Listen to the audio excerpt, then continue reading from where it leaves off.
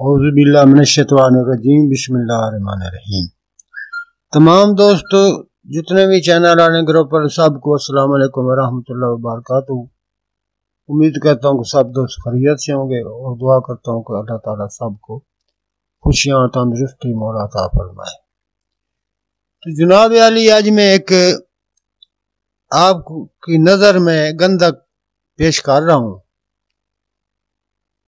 ये गंधक ऐसी है जो आदमी बनाएगा, उम्र भर याद रखेगा। कुछ नुस्खे ऐसे थे कि मैंने अपने वास्ते खास रखे हुए थे। आस्ता आस्ता मैं जनाब की खिदमत में दे रहा हूँ। ये गंधक भी एक बहुत आम है, जो मैं आज आपकी खिदमत में पेश कर रहा हूँ। तो इनशाला ये गंधक बनाने वाला जरा गौर से समझे, सुने, जो भी इसके ख्याल से इसको बनाए बार बार जी ऐसे क्या हो गया, फला हो गया, फिर ऐसे परेशान करते हैं कि हमें आज ये जैसे मैं बता रहा हूँ, उस चीज़ को समझे। सज्जी स्याह लेनी है दो किलो सज्जी स्याह उसको कूट कर उसमें पानी तीन, चार किलो चार किलो पानी उसमें डाल दे। किसी डंडे के साथ उसको हिला दे, उसको रख दे। किसी मफूज जगह पर उसको रख दे।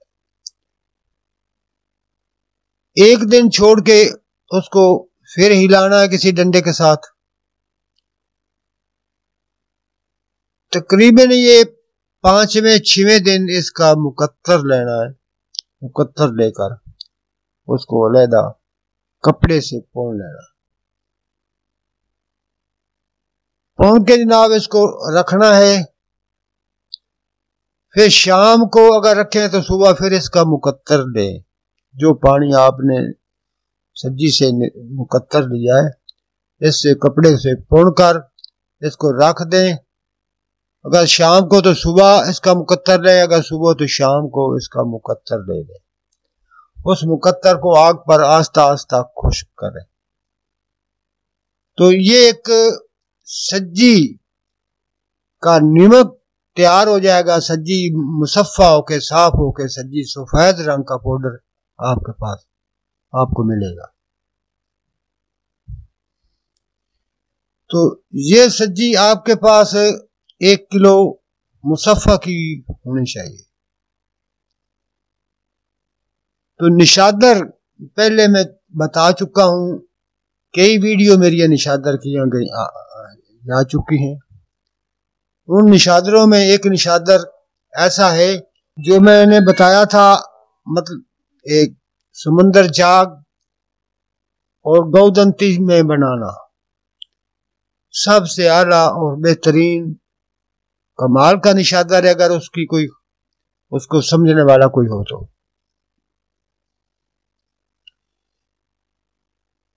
वो निशादर बनाए, एक पाव एक पाव निशादर बनाकर आपने उसको पीस लेना है। पीस कर इसमें पाँच तोला सुरखाई अच्छी किस्म के निशादर में मिक्स कर देना है। मिक्स करके जो सज्जी आपने एक किलो मुकत्तर की हुई खुश्क की ये पाउडर वो आधा सज्जी आधा किलो नीचे बिछाकर ऊपर ये निशादर जो एक पाव है, जिसमें सुरखाई शामिल की है ये आधा पाव ऊपर उसके बिछा देना है। इसके ऊपर सौ ग्राम सौ ग्राम गंधक आमला सार छोटी छोटी डलियाँ इसकी इसके ऊपर रख दें। ऊपर फिर इसके आप निशादर दें। इसके ऊपर फिर आप सज्जी देने के बाद इसको बंद करके पाँच किलो की आपने आग देनी है। सर्द होने से इसको खोलें। आराम से सज्जी ऊपर से नीचे से अलहदा कर लें कि सज्जी हमेशा ये काम देती रहेगी। और ये अला किस्म की सज्जी जो मुसफ़ा की हुई है। तो निशादर की कुछ गंधक के साथ मिलेगा, कुछ जो आसानी से निशादर गंधक से ऊपर उतारा जा सके, उसको उतार ले। गंधक महफूज कर ले। ये गंधक एक बात में सॉरी कि गंधक पहले रखने से पहले एक दो बुझावे को दूध में दे लेने चाहिए। तो ये गंधक आपकी बहुत बेहतरीन, अच्छी क्वालिटी की ये तैयार हो जाती है। इससे जो भी आप काम लेंगे, ये वो काम करती है। पारे की बैठक बैठक की तरफ़ ही जाती है, रंग की तरफ़ ही जाती है और पारे को तयरशीन भी करती है। ये एक आला किस्म की गंधक है।